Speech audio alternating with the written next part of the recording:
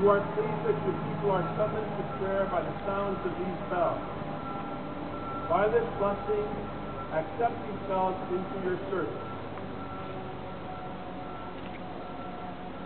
May their voice direct all hearts to you, welcoming the faithful into this church. We ask for this through Christ our Lord. Amen.